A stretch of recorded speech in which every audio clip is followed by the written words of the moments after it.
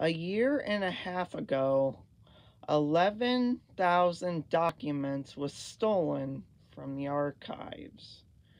It was stolen by Donald Trump from the government.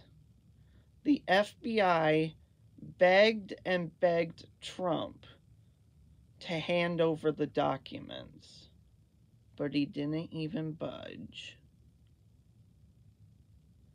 FBI raided Donald Trump's mansion called Mar-a-Lago and found 11,000 documents in his mansion.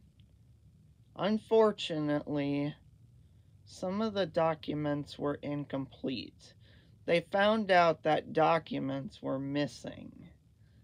This was two months ago after the FBI raided Donald Trump's mansion.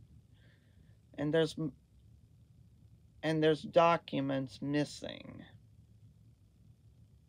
The FBI is going to do whatever it takes to get these documents back. Donald Trump should have never taken those documents. It is illegal. It is national security for our country and it needs to be resolved.